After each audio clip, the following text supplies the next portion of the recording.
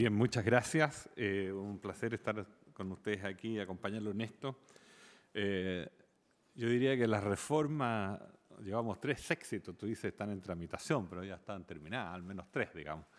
Cambiamos la, la fecha de las elecciones presidenciales, se cree que esa fue una reforma menor, pero involucraba varios otros aspectos de la Constitución, de fechas, límites, etcétera, de situaciones especiales. La segunda, obviamente, fue la más principal, en mi opinión, que fue la inscripción automática y el voto voluntario, que es una gran reforma que abarca cambio al servicio electoral y en general a todo el sistema de votaciones que se van a inaugurar el próximo eh, domingo, digamos. Y vamos a ver, esperamos que funcione bien todo. Y en tercer lugar, la ley de primarias, que si bien falta el trámite del Tribunal Constitucional, ya está aprobada por, por este Parlamento. Así que, en el fondo, eh, hemos avanzado harto en esta agenda que era difícil y que necesita consenso. Bien, vamos al tema que, que, que, me toca a mí referirme hoy día, que es un poco distinto a, esto que se ha hecho a esta agenda, sino que son los sistemas electorales. Eh, ¿Cuál es la que avanza aquí? No,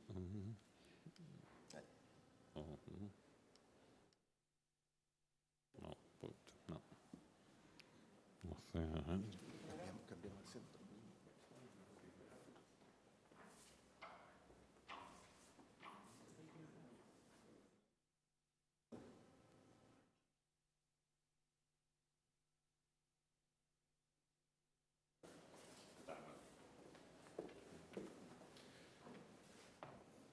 Bien, lo primero es una definición de, sistemas electorales. Y mm, esta es una definición bien clásica, eh, como métodos matemáticos, al final que en el fondo lo que hacen es transformar los votos de una elección en escaño de un parlamento. Reconozco que tiene un sesgo muy ingenieril la definición. ¿Ah? Eh, la mayoría de ustedes son abogados pero de Adré lo puse porque esta parte ingenieril o de la matemática de los sistemas electorales suele olvidarse y normalmente es de la esencia, es el método matemático el que genera la diferencia.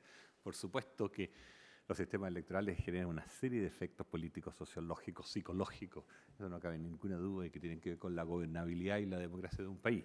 Pero su esencia siempre va a haber alguna solución matemática de hacer esta, esta asignación de votos a escaño. Y, eso es importante porque se puede evaluar con cierto grado científico o técnico. Bueno, e, en general en el mundo se conocen tres grandes grupos de sistemas eh, electorales. Eh, tenemos los, sistemas mayoritarios, ahí está su descripción, eh, países que están divididos en territorios electorales que eligen un solo representante, eh, generalmente el más votado, o sea, es por mayoría relativa, el que saca más votos, de eso queda listo.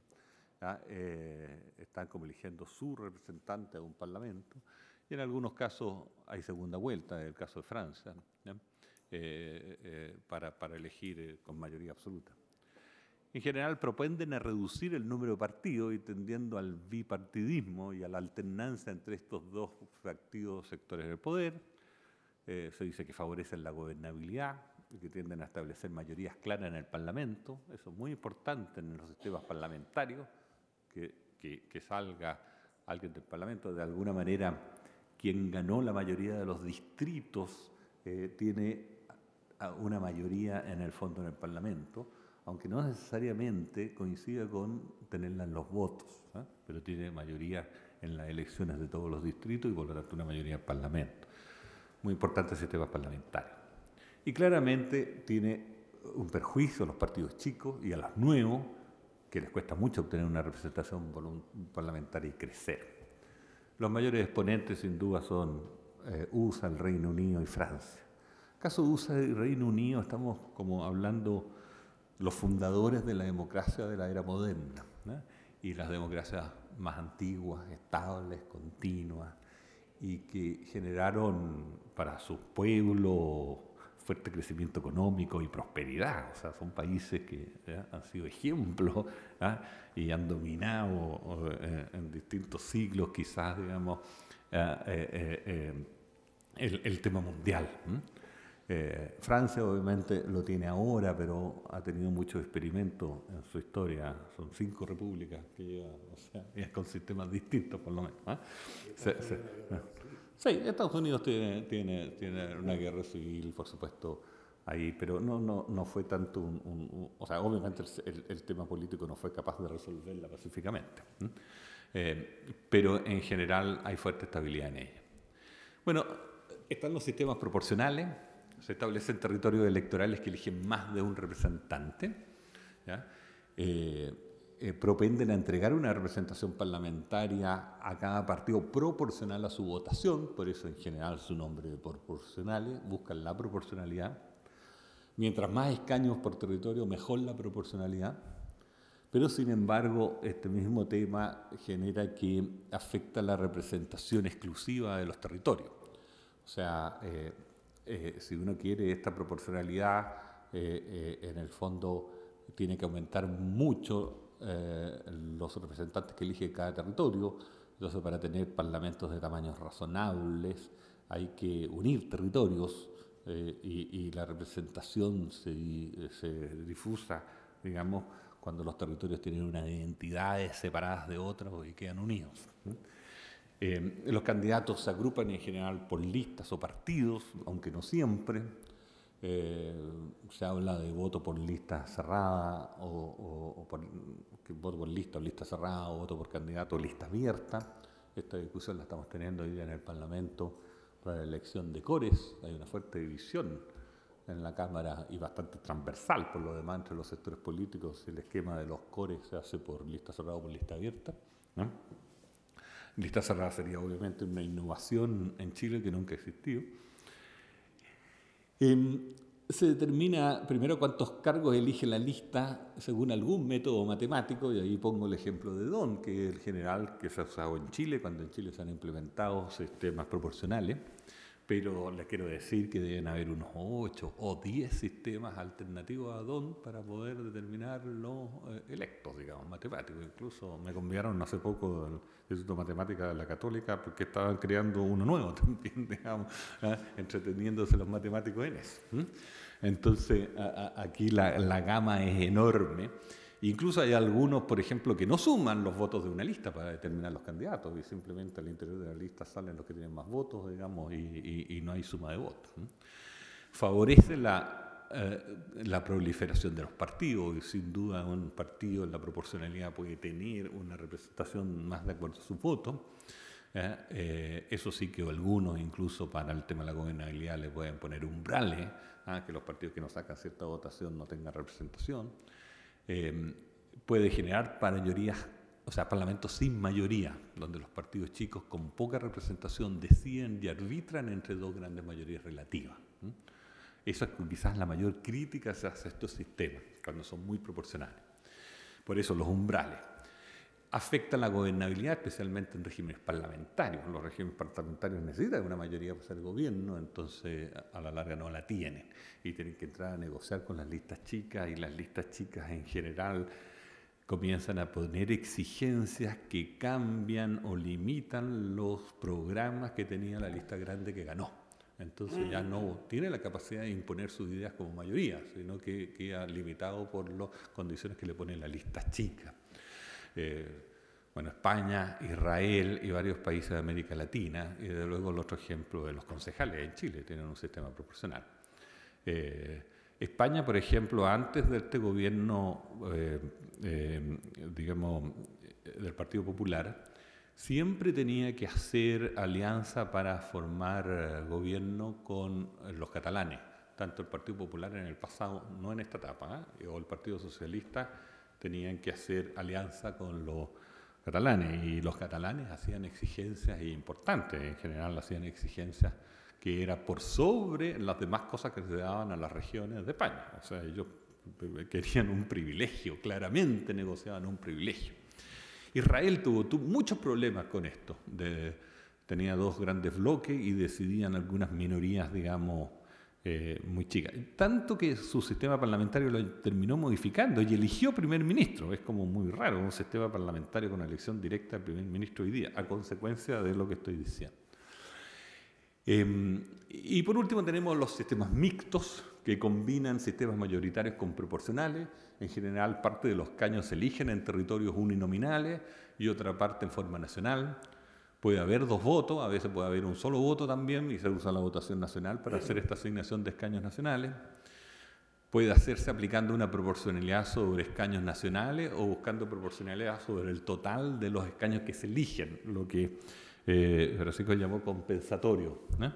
¿Ah? De alguna manera, eh, estos nacionales sirven para compensar buscando una proporcionalidad sobre el total. Y, y, desde luego se fijan umbrales mínimos de porcentaje de voto. Ah, eh, muchos hablan en torno al 5%, les quiero decir que en 5% muchos de los partidos chicos en Chile no calificarían o quedarían por debajo del umbral y el Partido Comunista estaría ahí raspando. Eh, tienden a tener las características de los sistemas proporcionales en cuanto a proliferación de partidos y, gobernabilidad.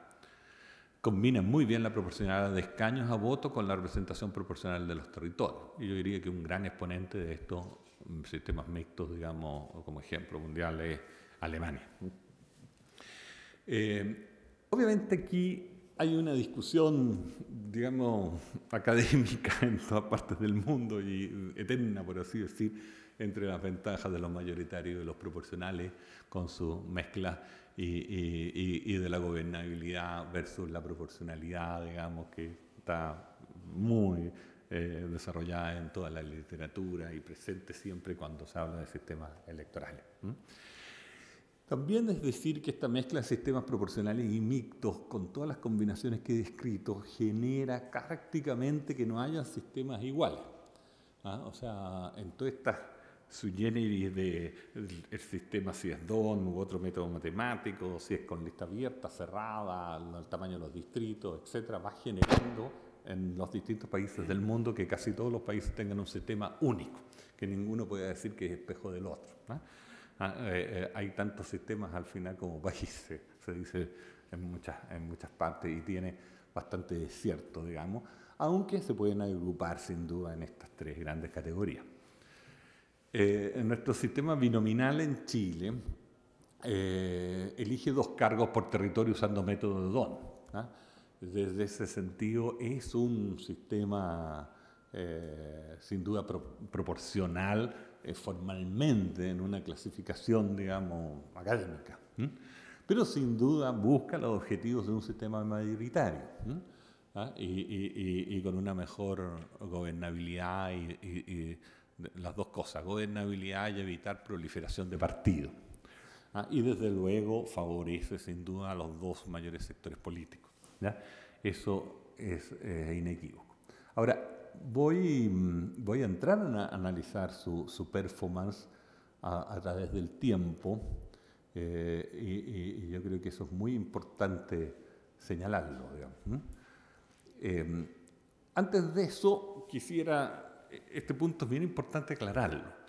Hay dos proporcionalidades que consideran en los sistemas electorales.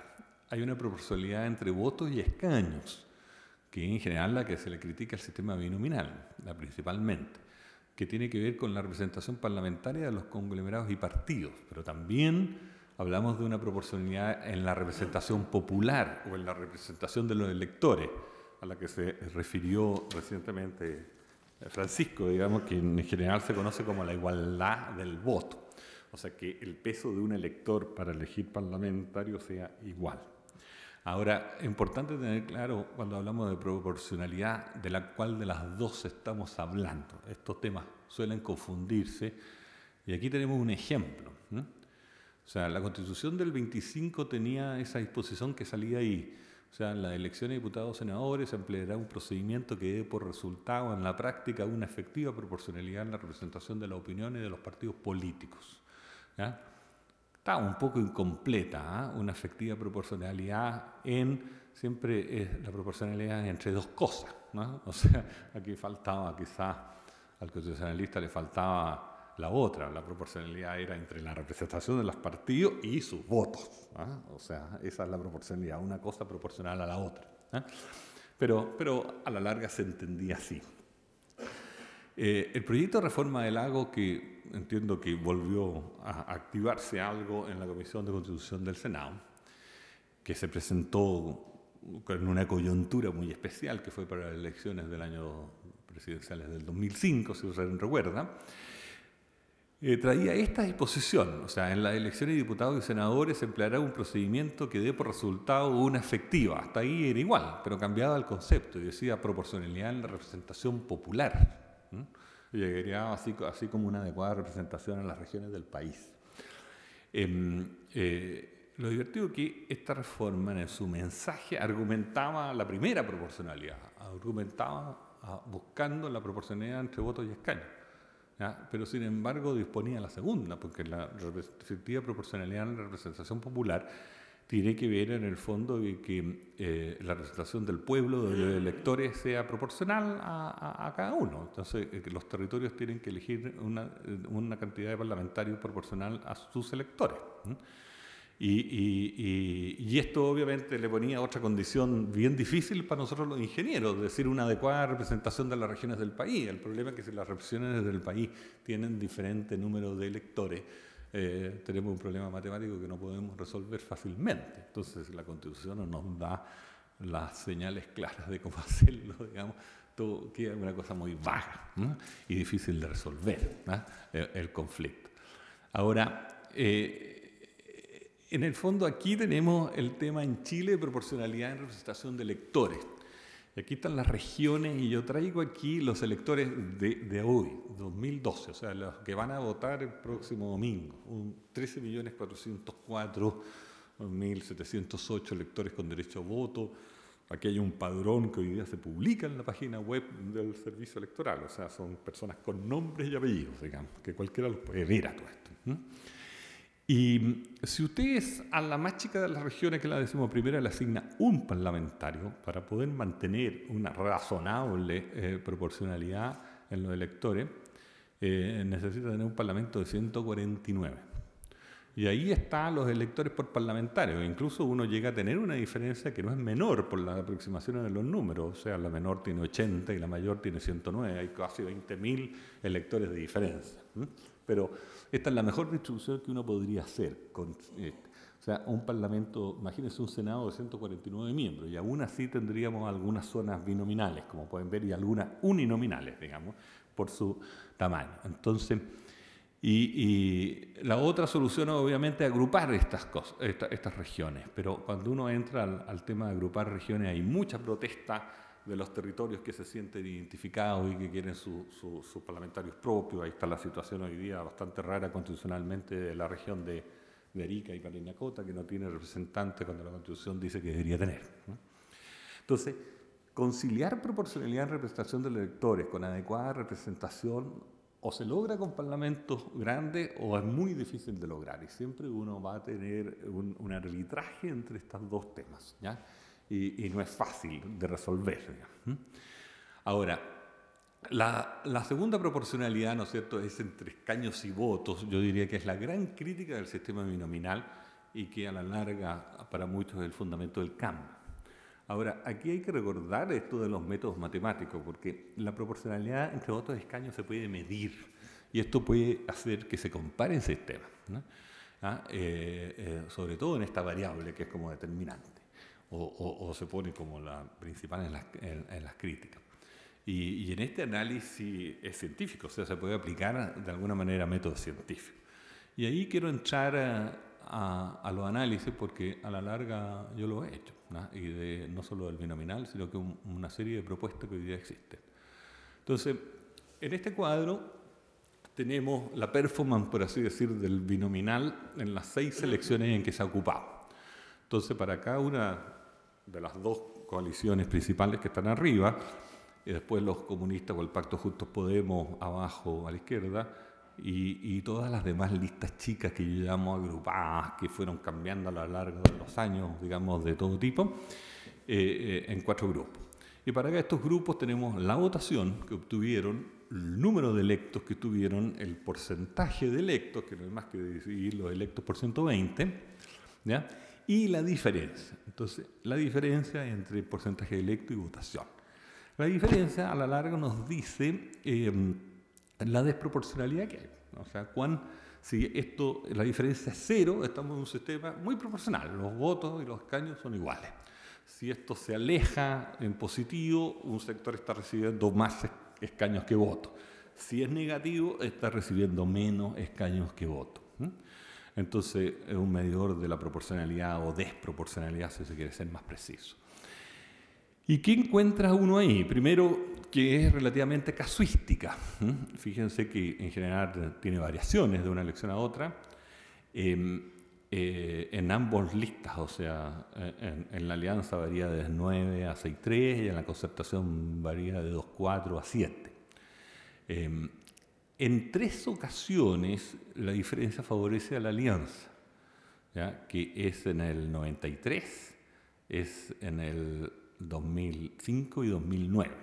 Y en las otras tres ocasiones, o sea, en 89, 97 y 2001, esta diferencia favorece a la concertación. Em, y en promedio, ahí están 4.7 mm, y 4.2. O sea, la ventaja hacia la alianza es, bien poca, esto se reparte bien parejo entre las dos listas, digamos, con un 0,5 más en favor de, eh, de la alianza. Si uno cortara a la mitad del cuadro, esto podría ser distinto. ¿ah? O sea, eh, eh, esto podría, puede cambiar en la próxima, etcétera. Estamos en una cosa muy marginal de diferencia entre las dos listas que depende de la casuística. Es bien casuístico esto. Ahora, sí hay una tendencia, ¿no es cierto? Las dos listas grandes suman 8-9 de más escaños de voto. O sea, tienen un privilegio y se lo reparten relativamente parejo. Y eso obviamente es en perjuicio de los chicos, que ahí, como ustedes ven, en el caso de los comunistas nunca obtiene escaños, entonces su votación se pierde 100%, y en el caso de los otros, eh, si bien eligen escaño, eh, pierden un buen porcentaje de lo que es su votación, que no se traduce en escaño. Em, el cuadro también demuestra otras cosas que es la tesis del empate. Aquí nunca hay empate, o sea, nunca hay empate. Aquí siempre la lista de la concertación, cuando obtiene más del 50% de los votos, tiene una mayoría clara en el Parlamento, en la Cámara, una mayoría clarita en la, Cámara. Incluso es más, o sea, en las primeras tres elecciones, el 89, 93 y 97, obtiene el quórum de los cuatro sete en la Cámara, sin haberlo obtenido la urnas. O sea, lo tiene en los electos, pero no lo tiene en los votos. No, llega a, a los cuatro séptimos en los votos. En el caso del 2001, con menos del 50% de votación, tiene la mayoría absoluta de la Cámara. A mí me sorprende eh, a Lagos como gran crítico del sistema. O sea, él gozó de una mayoría en la Cámara de Diputados gracias al sistema binominal que no obtuvo en los votos. O sea, durante cuatro años de su gobierno. Escucha que es importante eso para un gobierno. Y es bien curioso lo que sucede el 2009. O sea, eh, esta es lo típica característica de un sistema proporcional. Las dos listas grandes están muy cercanas en voto, eh, tienen una diferencia de 0,9, no alcanza a ser un punto porcentual en favor de la concertación, pero sin embargo ninguna alcanza la mayoría del Parlamento, en la Cámara. O sea, una 58 y 57, hay una levemente ventaja para la alianza. ¿Y, de qué depende que se haya mayoría en, en el Parlamento? Depende de los cinco que salen electos en 2009 por las listas chicas. Uno de ellos entiendo que se asoció claramente a un partido al cual pertenecía anteriormente, pero los otros cuatro tienen la capacidad de definir los resultados de la elección en la Cámara y ustedes eso lo comprueban, digamos, a diario. Y, no solo eso, o sea, han presidido la Cámara, han estado siempre en la directiva de presidente o vicepresidente en los últimos tres años, digamos. O sea, tienen además un peso mayor. Entonces, eh, eh, eh, esto es típico de un sistema proporcional. ¿no? O sea, la característica de un sistema proporcional cuando las votaciones son muy similares. En general, aquí también conviene decir que lo que estamos presenciando a partir de esta década, del, después del 2000, en general, votaciones muy similares entre las dos listas mayores. O sea, estamos muy empatados en votos. Eh, si ustedes ven, por ejemplo, en la última de alcalde, del 2008, ganó la alianza en votos nacionales, pero sin embargo en concejales ganó la concertación en votos nacionales. En la última parlamentaria del 2009 ganó la alianza en senadores y, ganó la concertación en diputados, que son las cifras que aquí se muestran. eh, bien estrecho. En senadores no fue tan estrecho, ¿ah? hubo como dos puntos, casi más de dos puntos a favor de la alianza.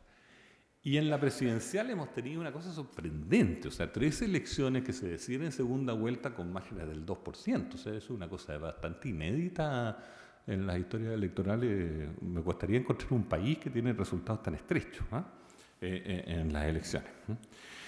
Lo otro que este cuadro nos dice es eh, las listas chicas en general sí sacan eh, diputados. O sea, aquí hay 14 diputados electos por fuera del sistema binominal en 5 de las 6 elecciones. O sea, más bien es una norma, digamos, que salga algunos que una excepción.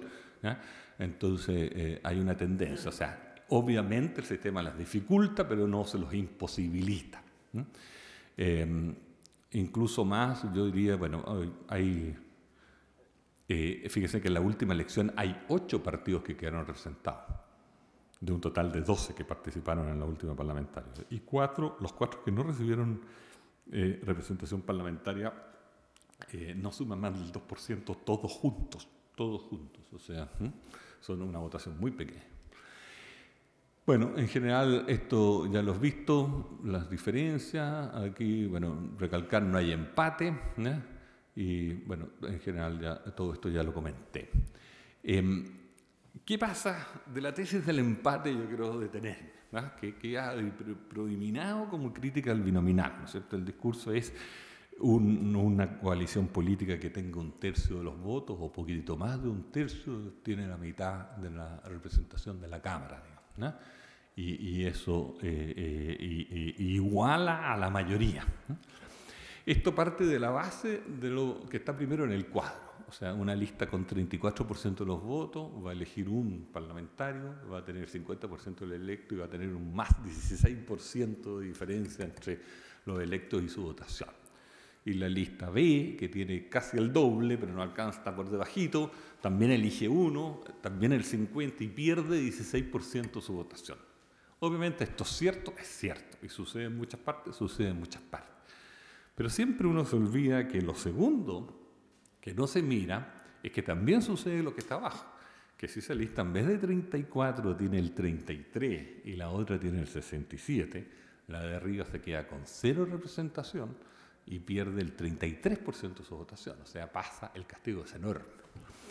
Y la segunda lista, ¿no es cierto?, se queda con el 100% de la representación. O sea, su representación sube en un 33% respecto a sus votos. Ahora, ¿dónde está el problema de, esta discusión? En que esta teoría del empate supone que una lista va a tener una votación pareja a lo largo de todo el país. Y eso es un supuesto que nunca se da en la realidad. Nunca se da en la realidad.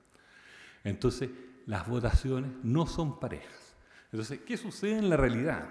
O sea, si un partido tuviera una votación del 34% promedio a nivel nacional, esa votación la obtendría con una dispersión. Esa dispersión haría que hay una buena cantidad, probablemente cerca de la mitad de los distritos donde obtuvo menos del 34%, y otra mitad de los distritos donde probablemente obtuvo más del 34%. Entonces, en aquellos que obtuvo más del 34% va a sacar un diputado, supongamos 30. Y en los otros que obtuvo menos del 34% no va a sacar ninguno. Entonces el resultado es que va a tender a tener 30 diputados. Y 30 diputados no es la mitad, es el 25%. Incluso es un castigo respecto a su votación. Piensen ustedes que aunque sacara 30 también estaríamos hablando de 30%, o sea, por debajo de su 34% promedio. O sea, tendría que llegar prácticamente a sacar 40 para poder sacar 34. Entonces, la tesis del empate supone que un partido o una coalición tiene una votación pareja a lo largo de los territorios electorales. Eso no se da nunca. No se dio nunca antes del año 73, no se ha dado nunca en ninguna elección, ni para el plebiscito, ni para nada, digamos, ni para presidente, ni para concejales, ni para alcalde. Digamos, siempre hay una varianza importante. A ver, me atrevo a decir, no se dado nunca en ningún país del mundo.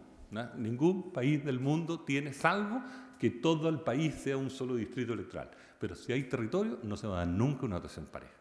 Miren ustedes ahora la, elección de Estados Unidos que nos muestran los cuadros eh, en los diarios, ¿no es cierto? Entonces nos ponen en rojo los de Romy y que son como en el centro de Estados Unidos, los de Estado. Nos ponen en los dos extremos de las costas los de Obama azules, digamos. ¿no? Ponen otro grupito que son celestes, o sea, que en el fondo son de Obama, pero ahí en, el límite. Otros rosados que son de Romy en el límite y unos cuantos, cinco o seis blancos que son indecisos y que van a decidir la elección. O sea, dispersión en los votos por territorio. Eso es una cosa elemental. Por eso que esta tesis del empate empíricamente no se ha dado y tampoco se va a dar nunca. Y de hecho, a la concertación incluso le pasa que cuando llega a tener votaciones muy altas, se le cae un distrito, por ejemplo Las Condes, y ya la, tesis, digamos, eh, eh, no, comienza a no funcionar, digamos. O sea, y, y, lo mismo, o sea, ese le queda por debajo del tercio y, a la alianza siempre le han quedado distritos por debajo del tercio. Eh, eso es, la lógica. Ahora bien, yo hablaba de método científico, un método científico siempre tiene un grupo de control, y aquí el mejor grupo de control es un sistema proporcional en Chile, que es la elección de concejales. Y ahí tienen el mismo cuadro ustedes para los, eh, un sistema proporcional chileno, con cinco elecciones empíricas, reales, ciertas, de un sistema concejales que elige 6, 8, 10, obviamente no discute su proporcionalidad. Y vean ustedes las diferencias medidas de la misma forma. O sea, tenemos también casuística. Hay una varianza entre 6, 6 y 1 en la alianza y entre 2, 6 y 4, 6 en la concertación. Hay mucho menos. De nuevo, hay dos casos donde la, la, la diferencia favorable sea la alianza, a pesar de ser proporcional el, 92 el 96, en los otros tres los perjudica. Y, la repartida es repareja, 3-6 y 4-1. Aquí como los mismos 0-5, pero en favor de la concertación. Y la suma de esto da 7-7 comparado con una suma de 8-9 que tenía el binominal. O sea, estamos hablando que lo que cae de la desproporcionalidad es apenas un punto porcentual de un sistema claramente proporcional con respecto del binominal. Como ven, bastante poco. La pérdida de las listas chicas es igual de importante. Los comunistas pierden ahí 4,5% de votación, digamos, y las otras listas 36, aunque obviamente por la cantidad de, escaños sacan concejales. Entonces, ojo, el pretender que un sistema proporcional va a generar cambios brutales, eh, esta es una demostración que es poco probable. Ahora, en el fondo la conclusión de esto es que el binominal ha tenido un comportamiento muy proporcional, ha repartido pareja esta diferencia de escaños y votos. El comportamiento es muy similar a otros sistemas proporcionales. No hay duda que estos 20 o más de 20 años han sido de gobernabilidad, de estabilidad democrática, de grandes acuerdos, de crecimiento económico y de prosperidad en el país. A lo mejor los niveles que se han casado no lo tiene a todos contentos, pero que haya habido avances, no cabe duda que ha habido avances eh, eh, eh, estando este sistema presente. Su mayor problema, y aquí yo comienzo a coincidir en algunos puntos con Francisco, es la predictibilidad de sus resultados. O sea, sin duda, eh, eh, eh, en muchos casos se sabe que hay dos candidatos fuertes de cada una de las listas y que van a salir electos.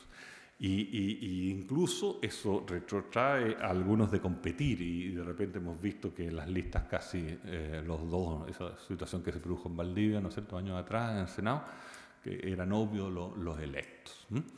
Eh, los candidatos que competían no, tenían ninguna cosa. Ahora, esto no solo influye el sistema, también influyen mucho las encuestas y el costo de las campañas. O sea, las encuestas cada vez en Chile son más acertadas. Antes del 73 casi no existían, desde luego, mucho menos a nivel parlamentario, y eso hace que mucha gente sabe que va a perder y por lo tanto se retrotrae, digamos, y no participa. Ahora, ¿Puede estar influyendo en una baja participación y que la gente no se inscribiera? Sí. Yo, yo reconozco que este es un problema del sistema. Y, y, desde luego el que sigue, ¿ya? que eh, aquí han habido dos conglomerados, uno que opera con dos partidos y el otro que opera con cuatro partidos. ¿ya? Y para el sistema es mucho más fácil porque opera con dos partidos, digamos, y el que, el que opera con cuatro tiene que omitirse de ciertos territorios y llegar a acuerdos y una serie de negociaciones. Eh, eh, esta es una realidad. Ambas cosas yo creo que las primarias son un elemento que sin duda puede colaborar a resolver esto. Por eso que de alguna manera se puso las primarias para las parlamentarias. O sea, expresamente el gobierno las incluyó para que estos conflictos con las primarias también se pudieran resolver. Bueno, vamos a las propuestas. Yo he hecho los mismos cuadros las propuestas. Eh, les quiero decir que la cantidad de cálculos que hay aquí es enorme, digamos, se muy resumidos, pero aquí se han reconstruido las votaciones en función de las propuestas y se han eh, calculado muchísimas cifras repartidoras en el caso de algunas. Aquí en el fondo están los mismos cuadros, pero está la propuesta y el binominal al ladito para que uno pueda comparar. Esta es la propuesta de Asensio, eh, son propuestas formales, por eso que menciono el boletín. Propone una Cámara de 150 diputados, esta es una propuesta mixta esencialmente, en que los 120 diputados actuales se siguen eligiendo en los 60 distritos binominales igual que ahora. Pero le agrega 30 diputados según la votación de las listas. Eh, a nivel nacional y por un sistema de proporcionalidad. Pues, yo lo hice con DON, el proyecto no lo menciona, ¿ah? pero yo le puse DON para hacerlo mejor. Eh, eh, calcula, ¿no es cierto?, una representación adicional de estos 30 parlamentarios. Bueno, este 8-9 que sumaban los beneficios en las listas grandes, hoy día el sistema lo reduce a 8-1. O sea, el cambio, como ven ustedes, es bastante mínimo. Y sigue habiendo una pequeña ventaja, una distribución pareja con una leve ventaja para la alianza que tampoco cambia, 4-2 versus 4-7, 3-9 versus 4-2. Las listas chicas sigue teniendo un perjuicio importante, aunque disminuye levemente. ¿Ah? Disminuye bien levemente, como pueden ver, y sí obtiene cierta representación el Partido Comunista que antes no tenía, y las listas chicas un poco más, que más que nada se debe al incremento de los 30 diputados adicionales, digamos, de que al sistema. Em, bueno, ahí está la descripción que ya hice. Bueno, obviamente esto tiene un problema de impopularidad en el aumento del número de diputados. Sí, o sea, eh, se pueden hacer a todos estos sistemas proporcionales con 120 diputados perfectamente. Eh, ahí hay un problema de que es difícil que lo aprueben los parlamentarios incumbentes, digamos, porque les, genera ruido a su, a, su posible reelección. Francisco, tú creo que pusiste una frase muy buena que decía, que era más difícil que un parlamentario pasara por el ojo de una aguja que cambiara el sistema electoral. Digamos, ¿ah? Esta fue el Evangelio del último domingo, así que está muy a Entonces, eh, em, aquí lo otro que tiene esto que genera unos diputados que yo llamaría de menor categoría. O sea, aquí les van a poner un nombre, perdedores, no sé qué, pero estos, estos 30 que, que son los mejores perdedores van a recibir un nombre peyorativo probablemente, van a tener una categoría inferior en las discusiones. ¿ah? Y van a haber distritos con tres diputados que trabajan localmente y otros con dos, lo cual, etc. Pero el mayor problema de estas propuestas es que no aumenta el número de candidatos donde elegir. Las listas van a seguir presentando 120. Eh, y no hay más opción para el electorado. Y, y aumenta la predictibilidad en vez de disminuirla. Porque de los si las dos listas grandes presentaban antes 240, se eligen 120, quedan 120 perdedores, ahora van a quedar 90 perdedores nomás. Entonces va a ser más probable salir con este esquema que lo que era antes sin haber más candidatos. Yo lo veo más predictible y menos, y ese no corrige un problema del sistema binominal. Esta es una propuesta más reciente, que eh, en el fondo yo traigo esta más las de Benninger para no latearlo con tantas cosas, pero eh, es muy similar a las propuestas de la Comisión Benninger, pero más modernizada, en general en la encabezado el diputado Burgos, digamos, tiene mucho respaldo quizás de la DC, eh, y, se ha llamado moderada. ¿Ah? Eh, un, plantea una Cámara de 150 diputados, donde establece 28 distritos que salen de la unión de los distritos vigentes, respetando incluso las regiones, no altera el distrito por región pero uniendo los distritos existentes, eh, eh, para nosotros no es lo mismo redistritaje que unir distritos. ¿ah? Redistritaje lo entendemos como partir el distrito en dos y tirarle una parte a cada uno. Esto es una unión de distritos y que le fija un número de diputados variable en función de año de 3 a 8. Bueno, vamos a los grandes resultados. las listas grandes siguen teniendo un beneficio y que es de 8-4. el, el binominal era 8.9, la propuesta de ascenso era 8.1 y el de concejales tiene 7.7. O sea, nos seguimos moviendo más o menos en el mismo lugar, pero ahora no se distribuye parejo, se distribuye claramente en una proporción a favor de la concertación de más de 2 a 1, digamos. y las listas chicas siguen teniendo un perjuicio, aunque obviamente sacan algunos parlamentarios más que antes, más que era producto del aumento.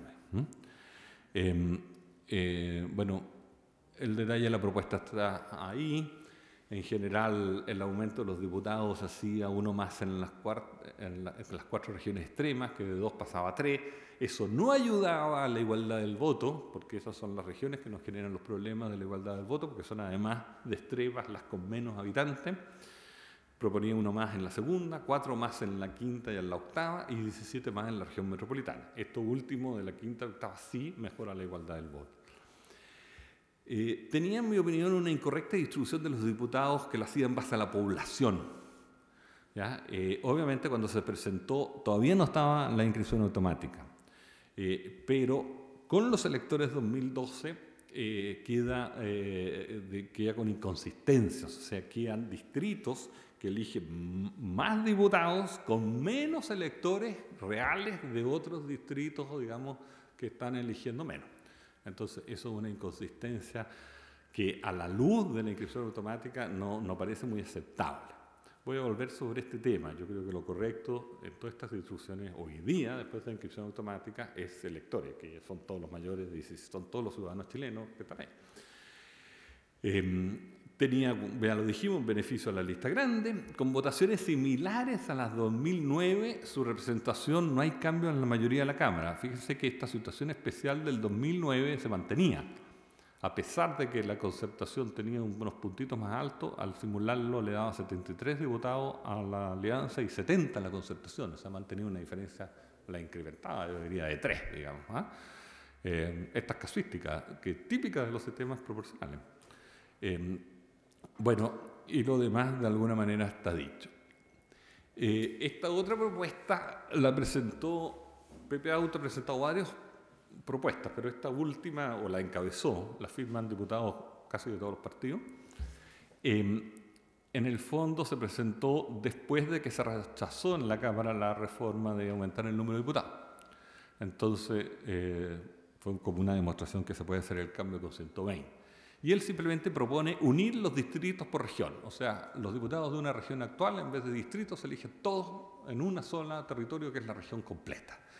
Salvo en la región metropolitana, que mantenía la división en dos, que son las de las circunscripciones senatoriales, entonces eligiendo 16. Por lo tanto, elegía, tenía 16 distritos nacionales, uno más que las regiones por, la metropolitana, y que elegían entre 2 y 16. Una, una propuesta claramente proporcional. Obviamente tenía el problema de que los territorios pasaban a ser superior a lo de senadores. Esta propuesta no venía acompañada nada para el Senado, como vamos a ver. Bueno, esta sí baja la, desproporción en favor de las listas chicas, digamos, a un 6-8. Eh, eh, igual, 6-8 a 8-9, el binominal, estamos hablando de dos puntos, tampoco una baja dramática pero tiene una repartida, igual que la propuesta Burgo, mucho más favorable a la lista más votada en promedio, que es 4-9.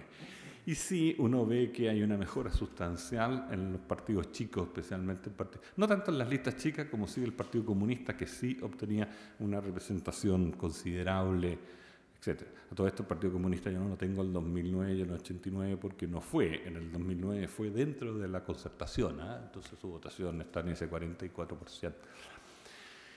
Y mm, bueno, esto ya lo describimos. Y por último, hay una propuesta muy reciente de Monkey Brown de Renovación Nacional, en que también une distritos vigentes dentro de cada región. En ese sentido es parecida a la de, a la de Burgo, pero distritos que van de 2, 3, 4, 5 y 6 diputados, no hasta 8, y una Cámara que llega a un número intermedio de 136. Bueno, esta propuesta da 3,7 más 5,4, da 9,1 o sea, la desproporcionalidad aumenta respecto del binominal ¿ah? para las listas grandes. Eh, y con perjuicio a las listas chicas, ustedes ven que ahí el Partido Comunista no, no, no obtiene parlamentario. Y en general la distribución ya no es tan pareja como en el binominal, está cargado hacia la concertación, pero no tanto como las otras, como las anteriores. Em, bueno, eso ya está descrito. Ellos proponían los aumentos, básicamente estaban en la quinta, en la octava región y en la metropolitana, lo que mejoraba. También esta propuesta, a pesar que ya estaban los datos de electores, tiene una incorrecta distribución de los diputados en la región metropolitana. porque tenía inconsistencia, o sea, había nuevos distritos que con menos electores elegían más diputados que otros que tenían, digamos, más electores. Y eso uno dice, bueno, esto al partir del sistema es una inconsistencia que no puede ser. No se han adaptado estas propuestas a los electores del año 2012. Vamos al Senado. En el Senado tengo el mismo cuadro del binominal y aquí sí hay una clara ventaja. De nuevo tenemos una diferencia en torno al 8-6, digamos, de, de, más escaños que voto para las listas grandes, pero con un claro beneficio hacia la alianza. No se reparten parejo. A pesar de este claro beneficio, siempre la concertación ha obtenido una mayoría en, el Senado electo. Esto, este cuadro hay que tener cuidado, solo se refiere al Senado electo, no tiene los senadores designados, que a la larga no era parte del sistema binominal y bueno, además es una institución suprimida. Y la votación que yo pongo ahí es una votación combinada después del año 89, o sea, tiene la votación del año y tiene la votación del periodo anterior de los diputados que permanecen en ejercicio. O sea, cada cuatro años la votación va representando la votación obtenida por los que están ejerciendo en ese periodo. No sé si se me entiende. O sea, es una votación que voy combinándola para llevar la votación nacional. Esto porque, como ustedes saben, la votación corresponde a una parte del país en cada caso. Pero es la representación de los que están ejerciendo, la votación de ellos y los porcentajes. Entonces, claramente aquí hay una ventaja, pero una ventaja que no se traduce nunca en una mayoría en el Senado electo y quien ha tenido mayoría en los votos ha tenido mayoría en el Senado electo. Pero hay un beneficio importante para la segunda mayoría, en este caso la alianza. Eso es indudable. Ahora, lo sorprendente es que hay menos propuestas para el Senado que para la Cámara. O sea, es sorprendente, pero hay menos propuestas para el Senado que para la Cámara. Eh, de las propuestas está Asensio, una también, él proponía 10 senadores nacionales en base a la lista de los partidos, 5 para cada oportunidad, y esto, como ven, no cambiaba sustancialmente, seguía una ventaja para la alianza de 7 a 1, 7 era muy poco. ¿ah? Y, bueno, y tenía las mismas quejas de aumentar la predictibilidad, etcétera, de las otras. Y la propuesta de Burgos, también llamada proporcional moderada, eh, por ellos mismos, ¿ah? eh, eh sí generaba un reparto, o sea, mantenía la desproporcionalidad, o sea, que seguía sobre siete, pero la repartía más pareja entre la alianza y la concertación, como pueden ustedes ver. Y, perjuicios similares de la lista chica, aunque obviamente sacaba. Aquí se proponía un Senado de 50 miembros ¿eh? y, con un número, se elegían por región y era un número variable que iba de entre 2 a 5. Eh, y buscando también mejorar en algo la, la, representación de los votos. Ahí, ahí en el fondo proponían cinco en la, en, la, quinta, octava y en cada una de las regiones metropolitanas, cuatro en la séptima, la novena, pero como una sola circunscripción, tres en la sexta y la décima, y el resto elegía dos. Em, ahora, hay otras propuestas del Senado. Sorprendentemente, eh, eh, Monker y Brown proponen aumentar las circunscripciones binominales. Y también lo hacía Out en una propuesta que encabezó junto a otros diputados en enero del 2011. O sea, decía, mantengamos el binominal para el Senado y aumentemos las regiones. Y lo hacían, bueno, dándole senador en la decimoquinta, que la separaban de la primera, uno más en la quinta región, o sea, en vez de 12 dividido por 3, lo mismo en la octava, a la sexta la dividían en dos y a la metropolitana la dividían en cuatro. Em, ya estoy por terminar. Quiero hacer un comentario del binominal al interior de las listas y pactos, porque también ahí se dicen muchos comentarios que favorece a ciertos sectores, etc. Em, cuando uno ve al interior de la coalición, es cierto que se producen importantes diferencias, pero no tienen una lógica que uno diga que son sistemáticas. Aquí tenemos en el fondo cómo fue la performance de los partidos en la elección del 2009, tanto para Cámara como para Senado. Y ustedes ven que eh, la UDI, que sacó un 24% de los votos, eligió 40 diputados en su lista, y eso es un porcentaje alto del tercio del Parlamento, o sea, tuvo mucho más electos que votos, en un 8,7% más. Y un perjuicio para sus compañeros de lista que era RN, que tuvo un 3,6 abajo. Eh, en general, en la concertación la cosa es bastante más pareja, aunque hay que tener cuidado en el análisis de la concertación porque ellos, de alguna manera, como tienen que instruir los candidatos, las votaciones no son nacionales, sino que dependen de los lugares donde ellos van. Entonces, considerarlas como votaciones nacionales, este ejercicio es más raro. En el caso de la coalición no, porque ellos van casi en todo el país, eh, ambas listas, entonces las votaciones son nacionales. Pero cuando uno ve Senado, eh, la cosa cambia. La UDI también es el partido más votado, saca 22-7, eh, bastante más votado que Renovación, pero sacó tres senadores de nueve. RN con menos votos, 18-8, sacó seis senadores, o sea, sacó un 14% más y la UDI se fue con un 6% menos. O sea, la UDI fue muy perjudicada, como pueden ver ustedes, a pesar del binominal en la última senatorial. Se menciona mucho los críticos del binominal la parte izquierda del cuadro y se queda en el tintero la parte derecha. Yo estoy seguro que la UDI cambiaría tres senadores por, no sé, por, varios diputados, unos seis, ocho, digamos, etc. ¿ah? Estoy seguro que lo gustaría hacer ese cambio. ¿ah? No sé si esa gran ventaja de diputado la, tiene tan feliz, digamos, de, de los senadores. Entonces, Aquí claramente la, competencia al interior del pacto es casuística, tiene que ver mucho con las personas y se pueden producir estas cosas un poco extremas que se dieron en el 2009 para los dos lados.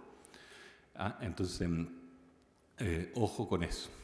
Y en la concertación yo diría que en el Senado también hay una gran ventaja a la democracia cristiana.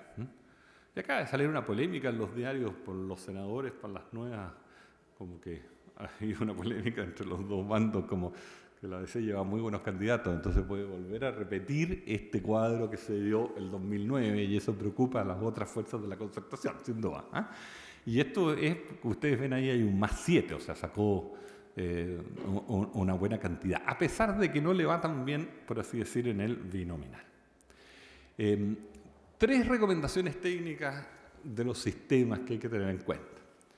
O sea, terminada la inscripción automática, ya lo dije, hay que usar electores, ya no habitantes. Además hay unas diferencias conceptuales. Hoy día son electores los extranjeros, los chilenos que viven en el extranjero, unos 500.000, están inscritos y tienen derecho a voto.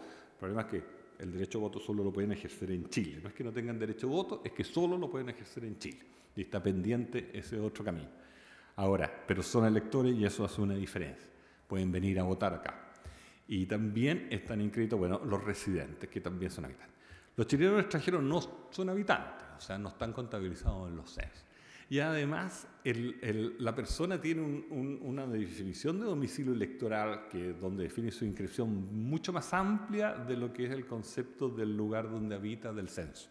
La persona puede elegir lugar de trabajo, residencia temporal, permanente, de acuerdo con la ley, y el lugar de estudio y no así el habitante es donde durmió la noche anterior o, un concepto distinto de habitante. Entonces, yo creo que lo correcto hoy día para todas las proporcionalidades es usar electores. Como son muy recientes, algunas de estas propuestas no las tiene, es entendible, pero deben corregirse.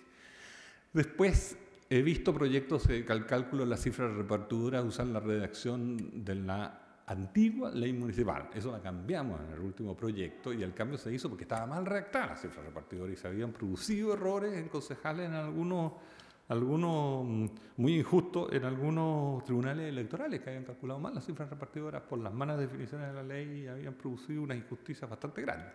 Por consiguiente, mucha gente no se dio cuenta de eso, pero existían. Por eso se modificó y, ojo, obvio, la redacción fue muy consensuada en todos los técnicos, entonces los proyectos deberían remitirse a esta nueva redacción. Y este problemita que pongo en el último punto es bien, nadie lo ha considerado, las propuestas que están en el Parlamento no las tienen, que en general, si uno modifica los distritos, básicamente fusionándolos, va a cambiar necesariamente su numeración. Y el artículo de la ley que establece las circunscripciones senatoriales está referido en aquellas regiones divididas a la numeración de los distritos.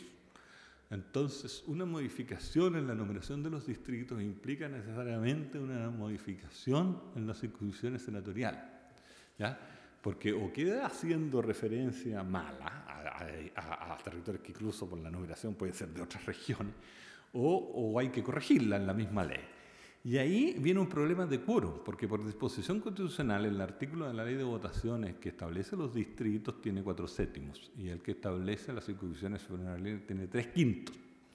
Entonces, una linda pregunta para usted, porque en general yo he visto que esto siempre opinan los, secretarios de las comisiones. ¿Cómo se vota esto? O sea, aquí, si, si, se vota una primera con cuatro séptimos, se aprueba, eh, queda mal, queda la crema en las circunscripciones senatoriales, que quedan referidas a unas cosas mal, si la otra no se aprueba. Entonces eh, se, vota todo junto y se vota todo junto con qué quórum. ¿ah? Entonces, eh, buen dilema les dejo planteado para resolverlo. pero cuando uno ve los proyectos que están, están que no hacen Senado, están con dejan las referencias mal hechas para la Cámara. ¿Ah? Las que solo modifican la Cámara están dejando hoy día estos boletines, las referencias mal hechas en el Senado y obviamente eso no puede prosperar.